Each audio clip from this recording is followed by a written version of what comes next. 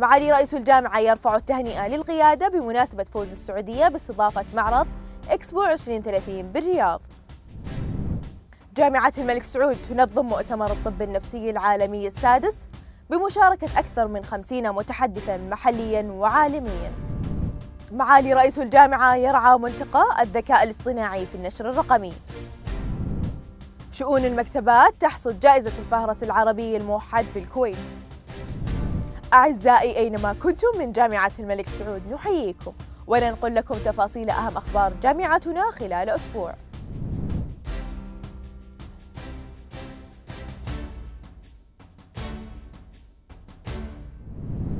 رفع صاحب السمو الملكي الأمير محمد بن سلمان بن عبد العزيز آل سعود ولي العهد رئيس مجلس الوزراء. حفظه الله. التهنئة لخادم الحرمين الشريفين الملك سلمان بن عبد العزيز آل سعود رعاه الله بمناسبة فوز المملكة العربية السعودية باستضافة معرض إكسبو 2030 بمدينة الرياض.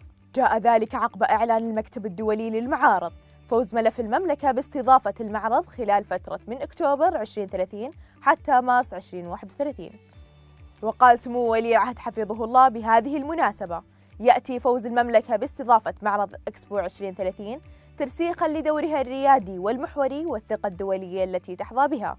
والذي يجعل منها وجهة مثالية لاستضافة أبرز المحافل العالمية حيث يعد معرض إكسبو واحدا منها.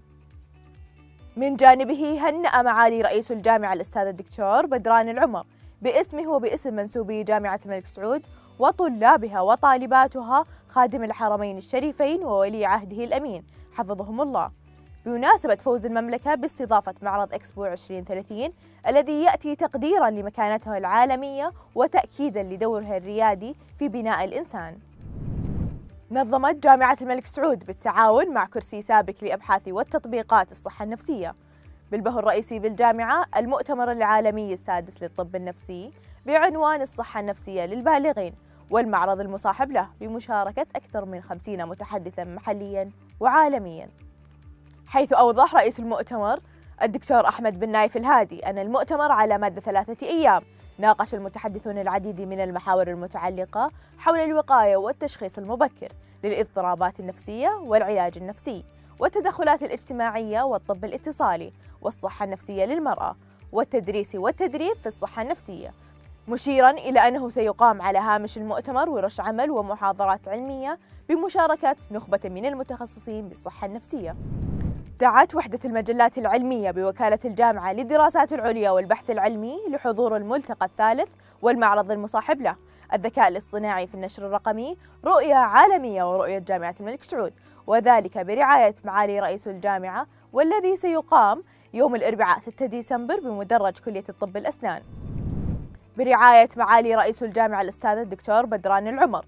ينظم كرسي أبحاث التغير المناخي وتنمية البيئة والغطاء النباتي بالتزامن مع منتدى مبادرة السعودية الخضراء. اللقاء العلمي آفاق وتحديات وتنمية الغطاء النباتي في ظل التغير المناخي.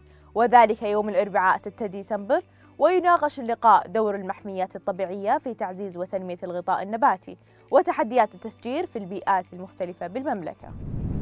حققت جامعة الملك سعود ممثلة في عمادة شؤون المكتبات على جائزة الفهرس العربي الموحد إلى جانب الجامعات الأكثر تفاعلاً مع الفهرس بجانب جامعة الكويت الوطنية وذلك خلال أعمال اللقاء العاشر للفهرس الذي يستمر لمدة يومين بمشاركة عدد من المكتبات المحلية والعربية.